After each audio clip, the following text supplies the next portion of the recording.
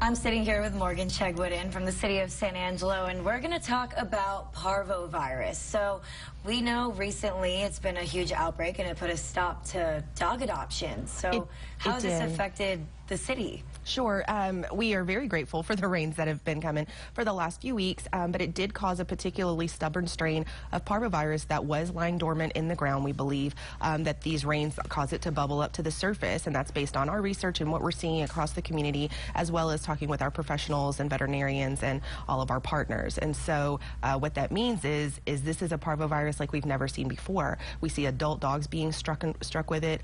Um, ordinarily, it's something we're really cautious about with puppies. We deal with um, you know dogs under a year old very specifically to try to prevent the spread of disease. Uh, but we're seeing this just across the gamut right now.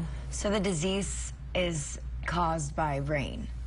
No, the disease lies dormant in the ground. It lives in the ground. It, it, it can be killed by sunshine or by treating um, the ground. But when these rains happened recently, that we had some really deep, saturating rains, um, if you have never seen parvo in your yard before, people are seeing it now uh, because it was super deep and it's bubbled up to the top now. And so dogs that were not vaccinated and had no vaccination history were contracting it, even if they were over a year old, uh, which is unusual. So it's normally seen in puppies. What is something that we can, if you have a dog at home, what are some of the things that they can see to know that they might, their dog might be affected by this? That, yeah, that's really what we want to share with folks today is to be aware. Um, one, double check with your veterinarian that your dogs are vaccinated for all the things that they recommend. Um, if your dog is a puppy, there's three rounds of shots you need to go through. If your dog is, is an adult, you just generally just need a booster every year. But if you have a dog that's particularly frail health or you're uncertain about the vaccination history, like if you've got an adult dog and you don't know whatever it's been through, just double check with your veterinarian to make sure that they're current and have everything um, that they recommend.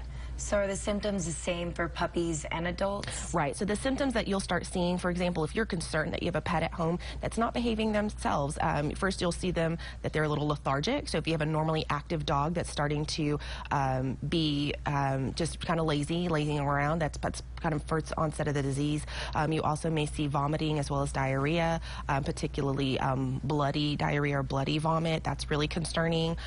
Also, if your dog is anemic, if you look at their gum line and it looks particularly pale instead of a healthy pink, um, that's concerning as well. So if you see that your dog um, is showing any signs that, that are concerning to you along those lines, it could possibly be parvovirus. There are other things that your dog could get which are easily treatable. Either way, get into your veterinarian as soon as possible. Um, there are emergency vets in town as well if it's after hours.